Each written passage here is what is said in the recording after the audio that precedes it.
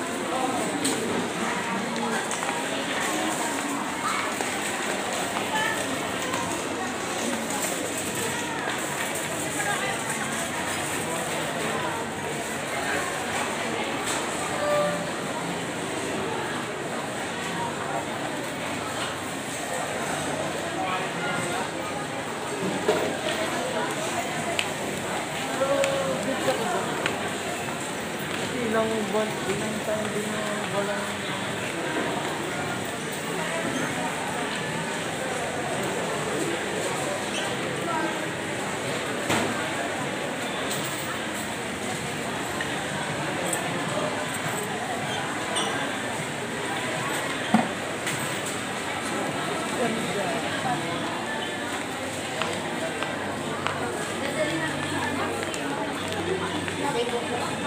Thank you.